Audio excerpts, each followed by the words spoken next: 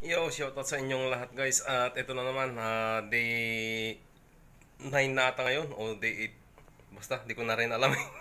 At ayun na tatakbo na naman tayo guys Para sa ating kalusugan At para pumayat At medyo gumanda-ganda yung ating pangangatawan. At stay tuned lang, stay tuned lang dyan guys. At yung puro-puro baluktot na lang minatataga Ayan, dyan lang kayo guys. At mababa na ako para mag-umpisa na tumakbo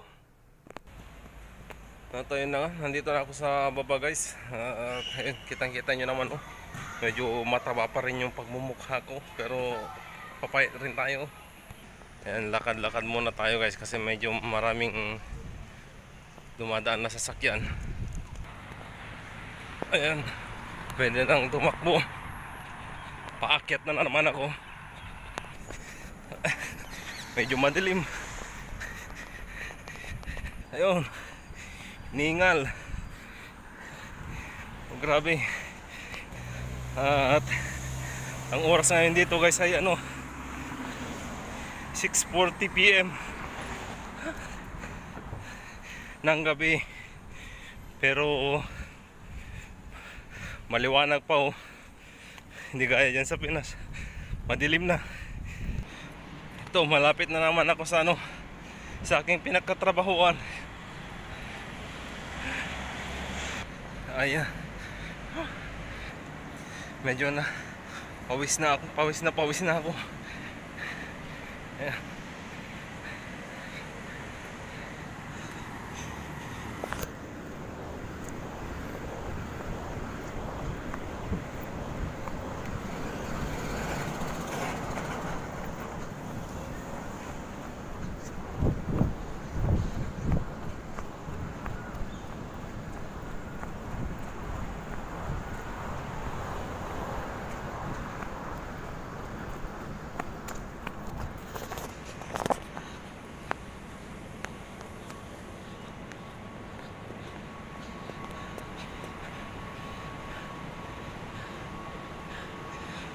Nakalimutan ko na naman ata ano i post yung video kasi nagpe-play habang ako tumatakbo eh. At saka ano ano ba tong short ko? Itong short ko natatanggal. Grabe. Hindi ako makakatakbo ng maayos. Kalimutang higpitan. Natakbo naman ako. Ay, post ko ulit guys. At isang ikot lang ako guys. Kasi di na kaya. Medyo pa, ma, padilim na pan, padilim na rin. Saka kailangan ko pang ano mag-ayos sa kwarto. At maligo. Ayan. Di pa ako masyado pinagpawisan pero eh, diretso bahay na ako guys. Salita ako ng salita hindi pala naka-play. Stay grabe. Ang hirap huminga guys. Punong puno na siguro ng usok ng sigarilyo dito sa ano sa baga ko. Kaya uh, mabilis na akong hingalin. At saka ano dati nalulong din ako sa mga masasamang bisyo guys lalo ng kabataan ko. Dati naman mautak pa naman ako. Hindi naman may, hindi naman masyado kunti lang. Pero nung nasimulan ko ng magbisyo wala na. Halos napalitan na ng pagka-addict yung ano nasa isip ko. Lalong lalo na yung masamang uh, masamang gamot o pinagbabawal ng gamot. Kaya kaya sa mga kabataan dyan kung napapanood nyo naman ito kung maaari iwas iwasan nyo yung magbisyo panginginom paninigarilyo lalong lalo na yung pinagbabawal ng gamot.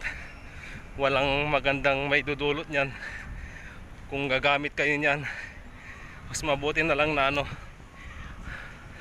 pagtunan nyo na lang yung pagkabata nyo sa pag-aaral mas maganda pa yun